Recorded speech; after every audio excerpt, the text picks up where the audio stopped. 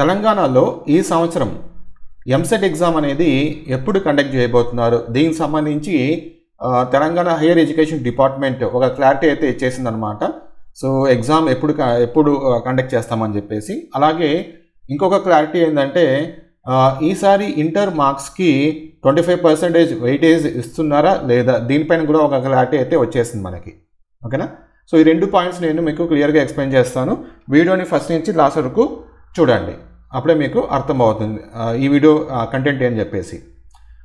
First వచ్చేసి ఈ సంవత్సరము ఇంటర్మీడియట్ వాళ్ళకి బైపీసీ అలాగే ఎంపీసీ ఈ రెండింటికి రెండింటికి మే సెవెంత్కి అంతా ఎగ్జామ్స్ అయితే కంప్లీట్ అయిపోతుంది. ఓకేనా? సో ఇవన్నీ దృష్టిలో పెట్టుకొని జూన్ ఎండింగ్లో జూన్ లాస్ట్ వీక్లో ఎంసెట్ ఎగ్జామ్ అనేది కండక్ట్ చేయబోతున్నారు తెలంగాణలో. ఇది డిసైడ్ అయిపోయింది అనమాట జూన్ అంటే డేట్స్ మనకి తెలియదు కానీ జూన్ లాస్ట్ వీక్లో ఎగ్జామ్ అయితే కండక్ట్ చేస్తారు. సో ఇది ఫైనల్ అయిపోయింది.